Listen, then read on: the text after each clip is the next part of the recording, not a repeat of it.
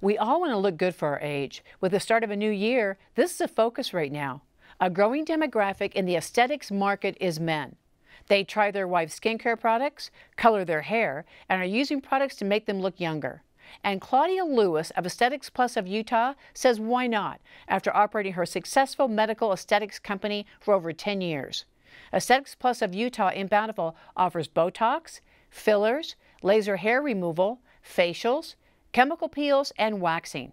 All of Claudia's staff members are experienced estheticians, so they can give customers a great experience. Not to mention, she also has a medical director and RN on staff.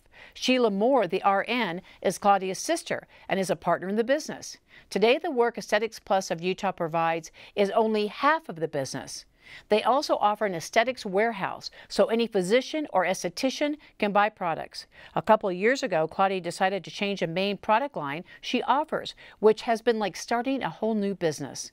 But this fits her philosophy of offering her customers only the best.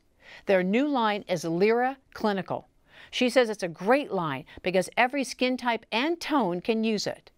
To help customers of Aesthetics Plus of Utah learn more about it, Claudia's team provides demos, and they'll do training at their Bountiful facility.